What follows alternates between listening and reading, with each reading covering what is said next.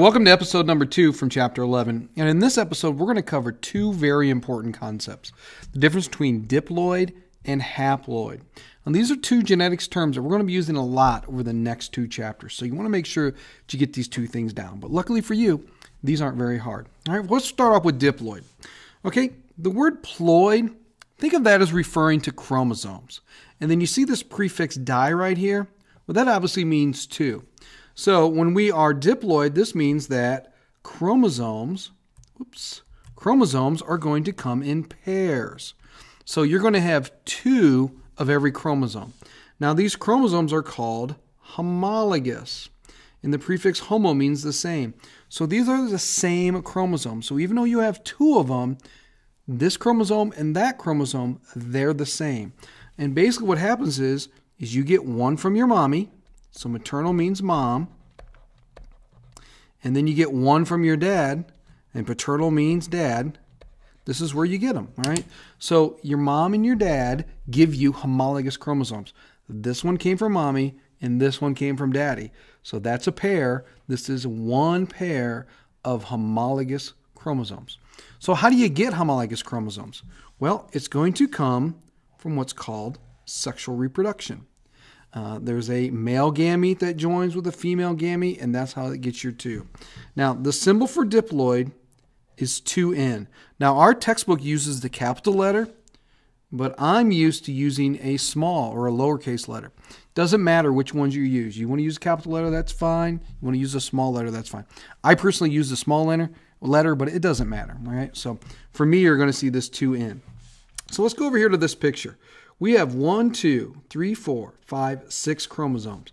So for this organism, 2N equals 6. Okay? Uh, that means the diploid number is going to be 6. In other words, you got three chromosomes from mom, and I'm going to use the universal signal or symbol for female, and then you're also going to get three chromosomes from dad. And there's a symbol for males, all right? So let's just say that this one here is maternal, and then this green one here would be paternal. And maybe this one here is from the dad, so that would be paternal. And this one would be maternal. And we'll just go maternal and paternal. All right, so you can see here, these two right here, that's a homologous chromosome. One from mommy, one from daddy. Okay, a lot of stuff in color on this uh, screen, so we want to make sure that you know all this stuff because it's all important. You have to know the difference between diploid, and when we talk about diploid, you got to know what homo homologous means. You have to remember this symbol, and you must remember that when eggs and sperm cells come together, they produce a diploid organism. All right, let's move on to haploid. Let's try this. Get rid of, there we go.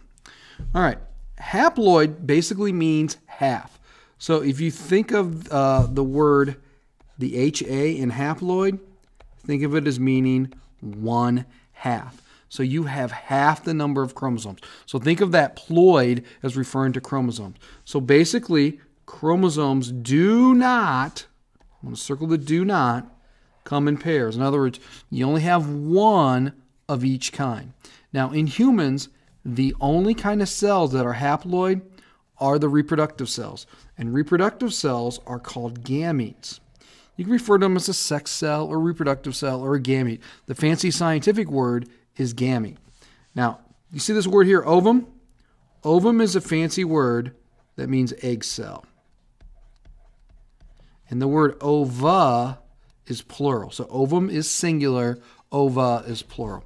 And these are the only ones that are haploid. Now, the symbol for haploid is just an N. Now remember, I'm a lowercase n kind of person. Your textbook likes a big letter, the uppercase, doesn't make any difference, okay? So let's go back one slide where we had 2n equals 6. So that was the diploid number. There were six total chromosomes. Now if you just do algebra, n is going to equal 3. So the haploid number would have been 3.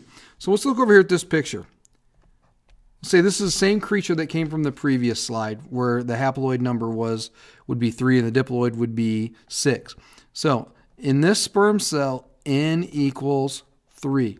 So this sperm cell is only carrying three cells.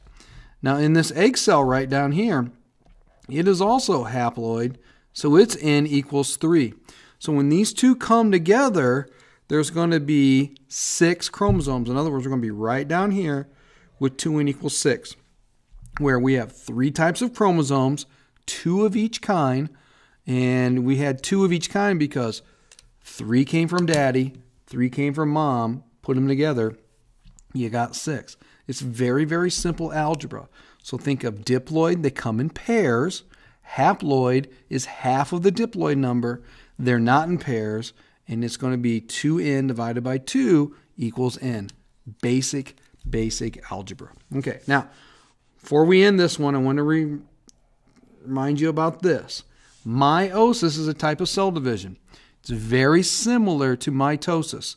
You have one cell and you're going to divide into four this time instead of two. But this is a type of cell division that's going to create these gametes that you see on here. And that is what the next episode is all about. So, until the next time, when we learn about mitosis, we're going to see you on the flip side.